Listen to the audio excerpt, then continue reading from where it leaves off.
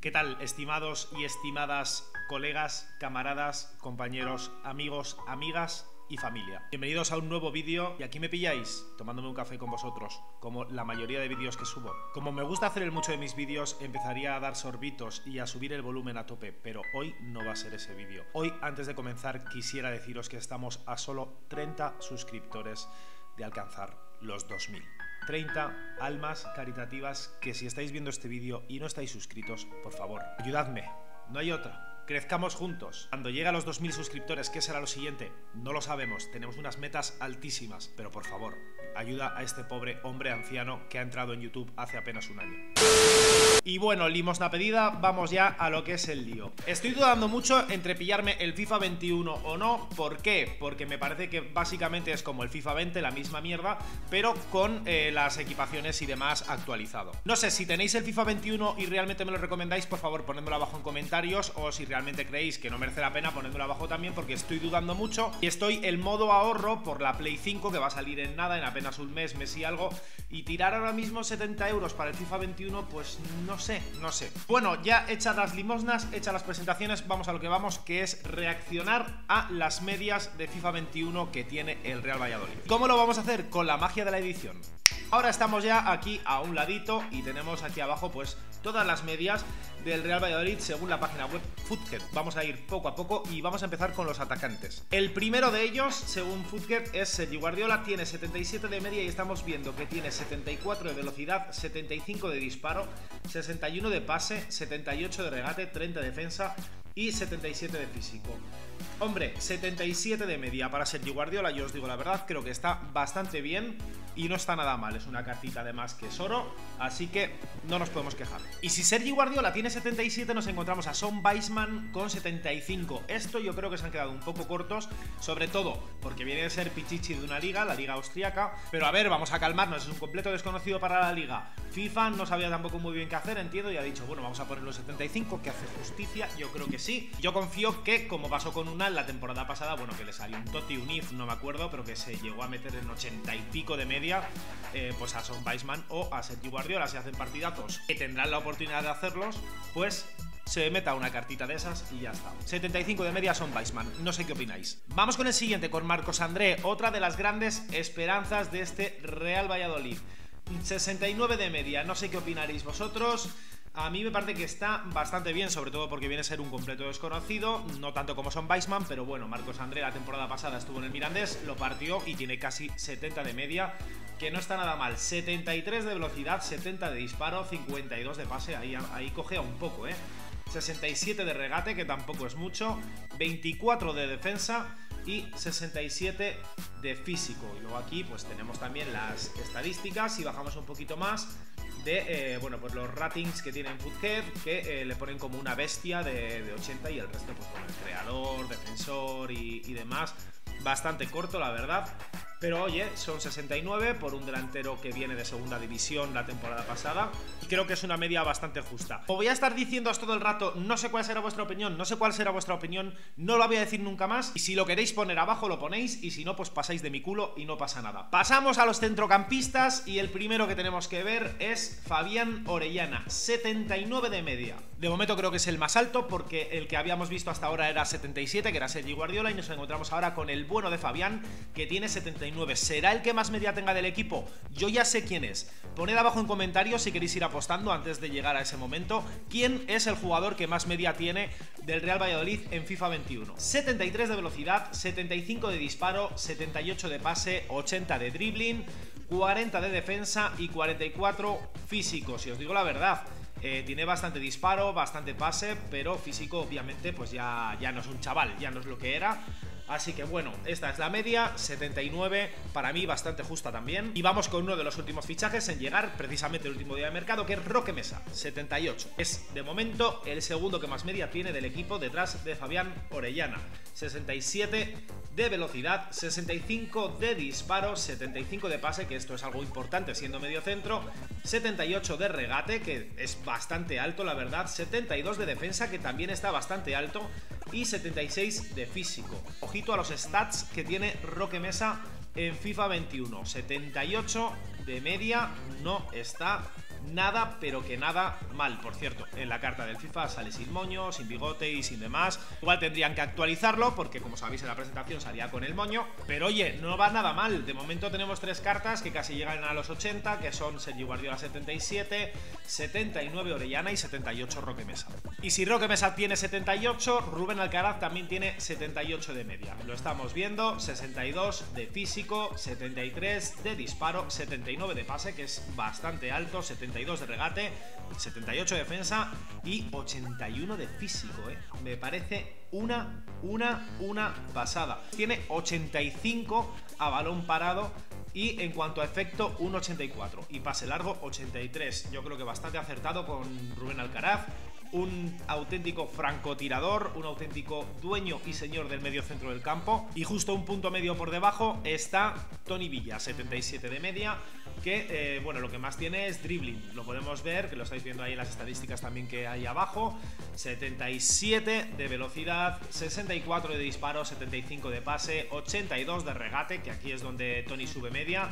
52 de defensa y 51 de físico. Lo que menos obviamente pues es eh, físico, ya sabéis que Tony es bastante delgadito, no tiene tampoco mucha musculatura y ahí en el cuerpo a cuerpo es donde pierde. Y otro puntito por debajo, a Tony Villa está Oscar Plano, que tiene 85 de velocidad, 70 de disparo, 74 de pase, 75 de regate, 54 de defensa y 68 de eh, físico. Lo que más tiene es eh, aceleración 79 y luego la velocidad en sprint 89, que es una barbaridad. No sé yo si en la vida real corre tanto plano, pero desde luego en FIFA le han chetado bastante en cuanto a velocidad. Otro punto por debajo en el centro del campo está Waldo, 75 o como muchos le llamáis, Rowaldo, que lo que más tiene obviamente pues es velocidad, aceleración 85 y velocidad en sprint 88 agilidad 83 y regate 82. El resto, pues bueno, lo estáis viendo más o menos que es 87 de velocidad, 74 de tiro, 65 de pase, 80 de regates. Y bueno, no sé cómo estará luego de precio en el Ultimate Team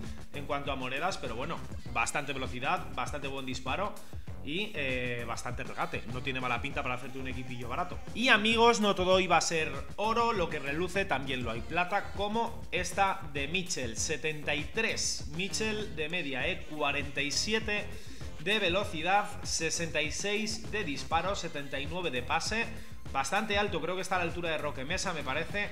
72 de dribbling, 55 de defensa y 54 de físico. Obvio que esto, y lo voy a decir solo una vez, no es la vida real, es un FIFA. Y qué mejor demostración de que esto es un juego de que Quique Pérez tiene un 64 de media. Es bronce el chaval, o sea, no le han dado ni plata. 64, pues que precisamente pues yo tendré de media 63 y a Quique Pérez le han puesto 64.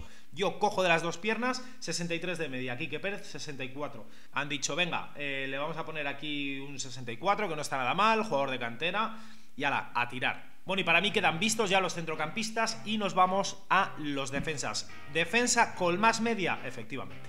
Nacho, aquí le tenéis. Nacho, eh, lateral izquierdo con, eh, sobre todo lo que tiene muchísima velocidad, 81, 55 de disparo, 66 de pase, 70 de dribbling, 75 de defensa y 69 de físico. Donde más destaca Nacho no se podía saber. Aceleración 82 y velocidad de sprint 80. Y por detrás de Nacho de media tenemos a Don Kiko Olivas, 75 de media, donde lo que más destaca pues es el físico, que es lo que más tiene de, de media, subida, y la defensa 76. 51 de velocidad, que es bastante pobre, 52 de disparo, bastante pobre también. 61 de pase, 60 de regate y luego, bueno, pues 76 y 77, tanto de defensa como de físico. Y a mí, chicos, este sí que me parece una injusticia. Joaquín solo 74, cuando a mí me parece de los mejores del equipo, que merecería estar tranquilamente en un 78, 79, subirle un poquito, porque es que realmente te vale de todo, de medio centro defensivo, de central, de todo. Te hace unos apaños que flipas. Es el jugador que siempre querrías tener en tu equipo y tenemos una suerte increíble de que esté en el Real Valladolid. Pues a EA no le ha parecido muy apañado y bueno, pues ahí le tenéis. 74 de media, 65 de velocidad, 47 de disparo, 62 de pase, 62 de regate, 74 de defensa, 75 físico, 74 de media, Joaquín, para mí el mejor jugador del equipo y ahí le tenemos. Y con la misma media que Joaquín tenemos a Bruno con 37 de velocidad.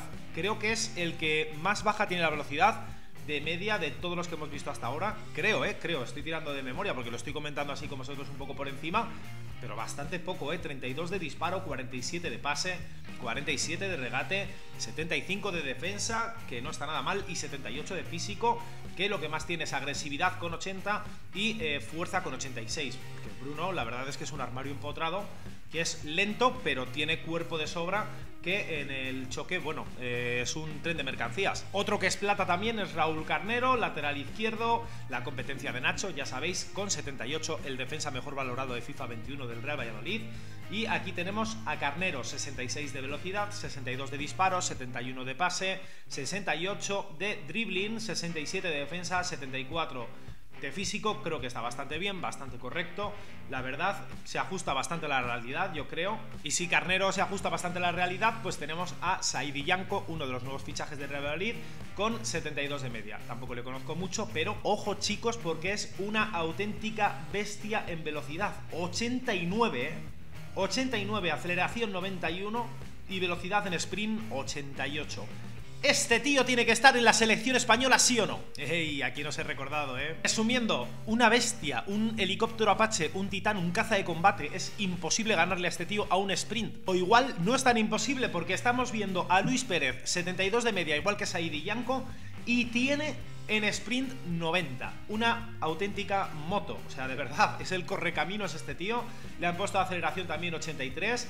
Y luego, bueno, de agilidad 82. Destacamos también el salto con 80 y estamina 86. No sé qué coño es la estamina, pero tiene 86. 87 de velocidad de media, 44 de disparo, 57 de pase, 68 de regate, 68 de defensa y 71 físico brutal, brutal, brutal las dos cartas de lateral derecho del Real Valladolid de este año. Si estáis pensando en algún lateral baratito para el Ultimate, mirad en el Real Valladolid. Y ojito porque vamos con los porteros y se viene la sorpresa, chavales. Ahí lo tenéis, 81 de media. Jordi Masip, el jugador con más media del Real Valladolid en FIFA 21, con 84 reflejos, 65 de velocidad, 77 de posicionamiento, 72 de disparo eh, las manos 82 también y eh, el diving que supongo que será estirada o algo así 82 eh, también. Y su competencia directa Roberto 75 de media, 78 de diving, 67 de handling,